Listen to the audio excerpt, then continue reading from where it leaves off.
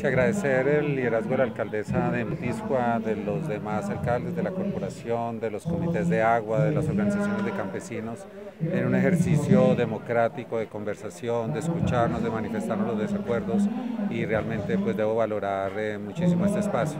Como parte de la etapa en la que brindamos información de lo que fueron las decisiones en el año 2014 y generamos los elementos de lo que va a ser eh, los pasos siguientes en este espacio. Entonces creemos que se ha brindado información y que debemos pasar ya a una etapa por municipio eh, que permita poder llegar a muchas más personas en esta dinámica ya de consulta y concertación.